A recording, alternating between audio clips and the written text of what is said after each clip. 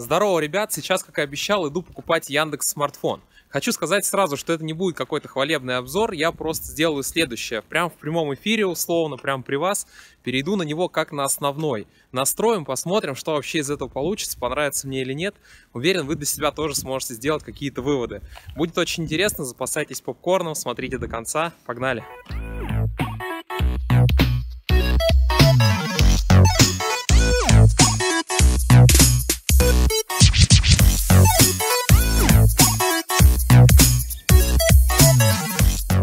Ну все, ребят, долгожданный Яндекс телефон наконец-то у меня.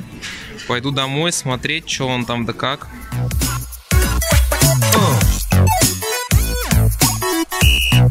Итак, ребят, какой у нас сейчас будет план действий? Ну, во-первых, я его распакую прямо при вас, да. Во-вторых, мы его настроим, включим, ведем учетные записи, ну и, конечно же, установим все необходимые приложения. Сейчас вот, кстати, реально прям при вас его распаковываю. Еще его сам не видел. Обзоры, кстати, тоже особо не смотрел, так что я думаю, будет интересно. Опа, опа. Вот он, Яндекс телефон. Так, что у нас тут? Сам телефон. Ну, прикольно, кстати, компактненький такой. Так, гарантийный талон, справка поддержка. Скрепочка с буквой Я легендарная. Ну и, собственно, что тут? Зарядник, да? А наушников, получается, нет да, в комплекте. Ну ладно, в принципе, телефон якобы дешевый. 3 ампера. Вот вся распаковка, ребят. Сейчас давайте его будем включать. Так, давайте его сейчас попытаемся включить и заодно снимем, пока он включается, пленочки. О, включился. Отлично. Так, супер. Ну, такой прикольненький, в принципе, телефон. Ощущается довольно-таки дорого. Здесь стекло и металл у нас, да? Так, еще надо в него симку воткнуть, правильно? Давайте сейчас воткнем какую-нибудь сим-карту. Что это он там такое шифрует? Ну что, телефон включается не так уж и быстро. Давайте пока сравню его по размеру с Huawei Nova 3i. Ну как бы да, заметно, конечно, меньше. По толщине он, по-моему, толще чуть-чуть, да, кажется. Ну, толщина, в принципе, не критична. Но зато здесь есть NFC, ребят. Вот NFC эта тема. Я уже соскучился по NFC, честно говоря. Кстати, камеры не выпирают. Это, в принципе, прикольный такой момент, потому что вот здесь камеры, например, выпирают. И вот тут как бы есть такой момент, то что вот здесь краска немного стирается, если видно. Добро пожаловать. Так, для начала подключаемся к Wi-Fi. После чего он нам предлагает проверить обновление.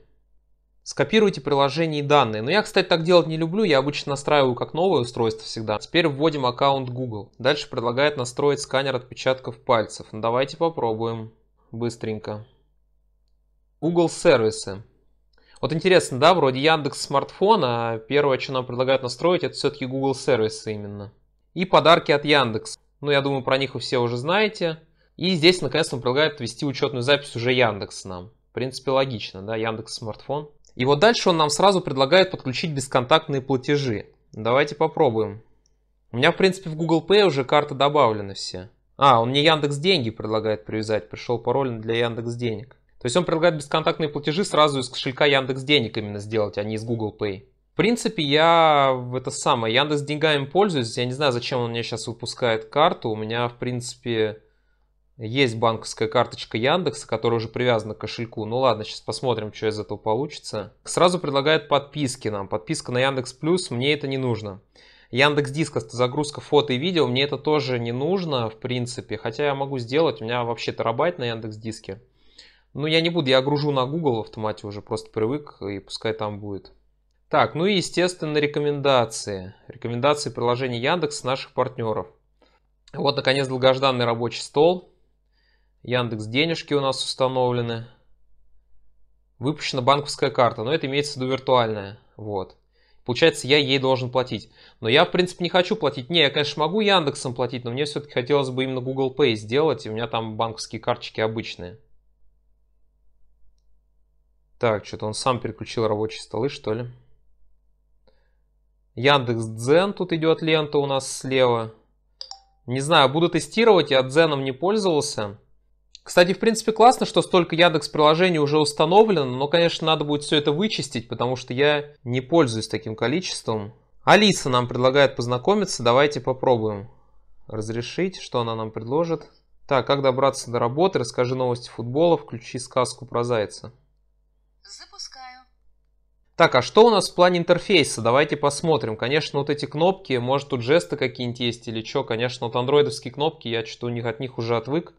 Давайте сразу зайдем в настройки, полазим, потом уже будем приложение ставить, которое не хватает. Сети мобильный интернет. Передача данных. Тут должна быть статистика наверняка подробная. Ну, такой, конечно, интерфейс, специфичный довольно-таки. Довольно вроде простой. Так, приложение уведомления. Недавно открытые, показать всем. Давайте посмотрим, есть ли какие-то опции по ограничению активности. Здесь что-то пока не вижу таких. Так, дальше у нас идет батарея.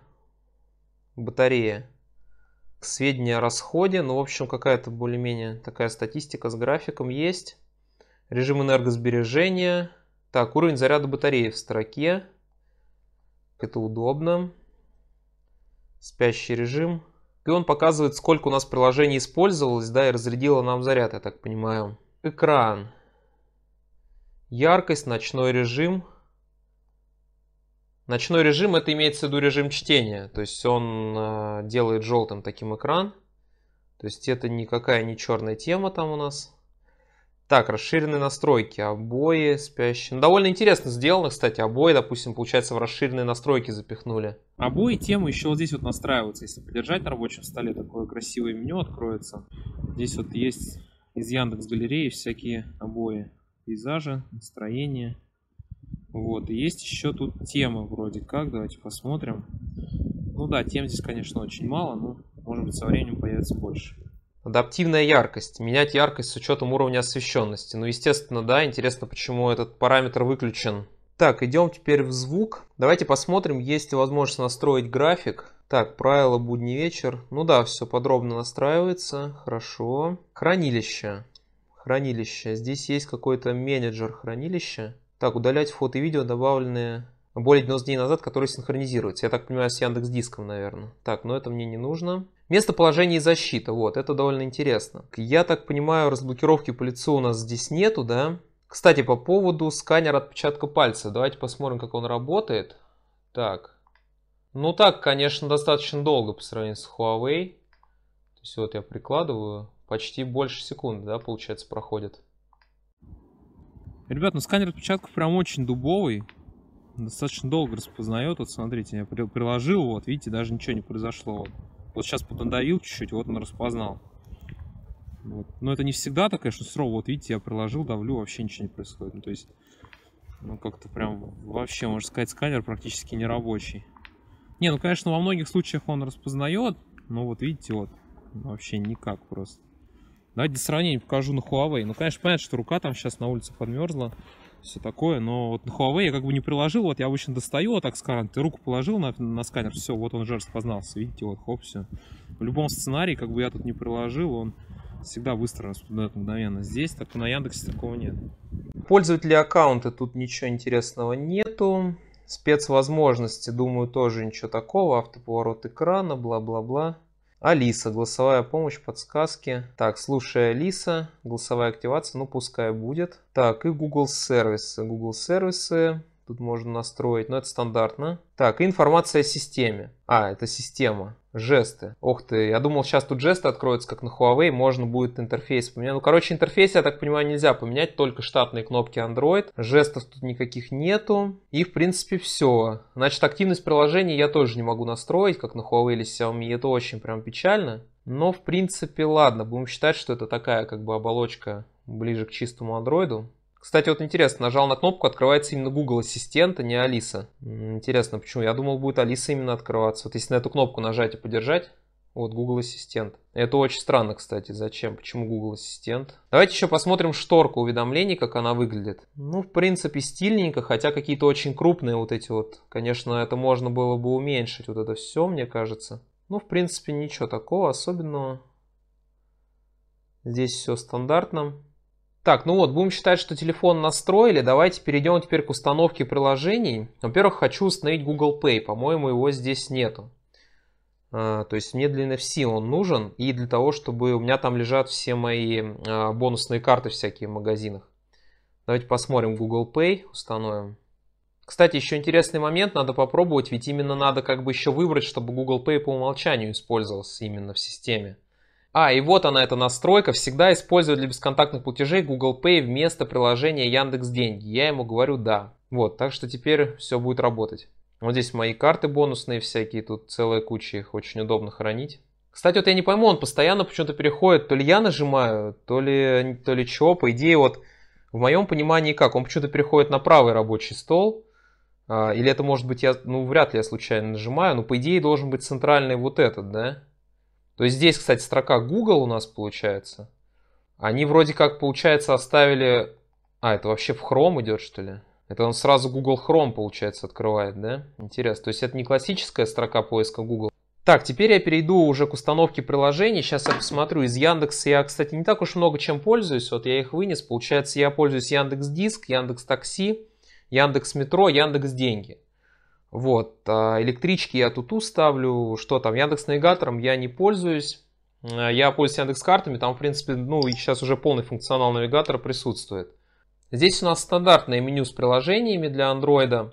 И вот я сейчас думаю, а что мне вообще нужно установить? У меня такое складывается впечатление, что смартфон уже готовый под ключ.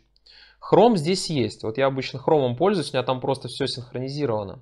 И, кстати, удобно, что он реально в строку вынесен, потому что я обычно всегда, когда в гугловском приложении что-то ищу через эту строку, то я обычно всегда открываю в хроме потом, но это удобнее, чем в гугловском приложении. Но, в общем, всякие электрички, Яндекс Музыка, это окей. Это, в принципе, здесь есть, и я этим буду пользоваться. Здесь, естественно, не хватает э, соцсетей, не хватает банковских приложений, да, но это, в принципе, понятно. Сейчас посмотрю еще касаемо офисных, есть ли тут, по-моему, нету гугловского, Google документы, Google таблицы, Google презентации, я это все установлю тоже. Но сейчас при вас давайте посмотрим Google документы. Сейчас я подробно не буду установку всех приложений показывать. Тут, в принципе, уже такие как бы приложения, которые, скажем, нужны лично мне, возможно, вам даже и не понадобятся. А, ну, естественно, почту Mail.ru надо установить, облако, вот, это как бы обязательно. Соцсети, надо контакт установить.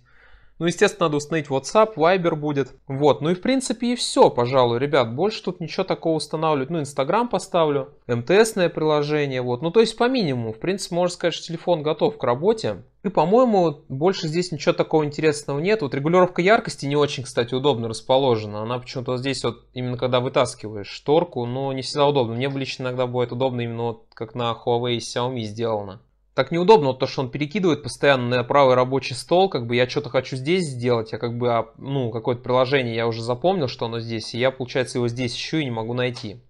Вот, еще диспетчер задач надо посмотреть, ну, стандартный, вертикальный, как бы ничего здесь особенного тоже нет, все это устаревшая уже тема, конечно. Приложение камеры. Давайте-ка мы еще сразу в сложных боевых условиях испытаем в темное время суток. Так, а что-то я не пойму. А где режимы какие-то здесь вообще есть что-то? Только настройка экспозиции и то какая-то ступенчатая. Так, сейчас настройки зайду, может тут. Так, а что-то нифига нету тут вообще. Не понял. Что-то это жесть какая-то. Не портрета, получается, вообще ничего нету, что ли? Да, ну я надеюсь, это исправит в более новых прошивках, но это что-то как-то вообще прям печалька. Так, Давайте-ка с Huawei сравним. Ну да, ребят, на Huawei, конечно, фотографии значительно сочнее получаются. Тут еще искусственный интеллект, но даже если вырубить, все равно, конечно... Так, ну еще такой интересный момент, а где мне эти фотки теперь посмотреть? Получается, галереи-то здесь нету, да, есть только такая, ну типа простенькая, да? Да, это, конечно, фигово. Так, а файловый менеджер здесь есть, кстати, нет? А, вот есть какие-то файлы. Так, здесь внутреннее хранилище. И да, вроде есть какой-то простенький совсем, конечно. Так себе тема. Давайте пару дневных фоток. Одну сделаем на Яндекс и одну сделаем на Huawei с отключенным искусственным интеллектом. Ну что, ребят, пришло время подводить итоги. В общем, я не знаю, мне как-то стало несколько грустно, что ли, под конец обзора. Но не знаю, за что я здесь отдал 18 косарей. Конечно, если сравнивать вот этот телефон и, допустим, вот этот, то... Причем, кстати, вот этот телефон даже стоил 15 тысяч недавно, то есть даже дешевле, чем вот этот. То, конечно, вот это вот примерно iPhone XS, XS Max, а вот это вот iPhone SE. Ну, как-то так примерно по ощущениям. Вот, но действительно, в принципе, увидели все сами. Я думаю, что каждый уже для себя сделал какие-то выводы буквально вот за там вот этот час, который я сейчас провел со смартфоном. Но давайте, ладно, не будем ничего поспешно как-то обижать его. А, давайте я с ним похожу еще где-то месяц и сделаю еще несколько роликов, сравню его с Huawei с Xiaomi, посмотрю как в эксплуатации. Может быть он себя покажет очень хорошо и мнение мое изменится. Вот, ну а с вами был Future Time. Пишите в комментах, что вы думаете по поводу этого смартфона, какие у вас есть мысли, идеи. Вот, всем пока.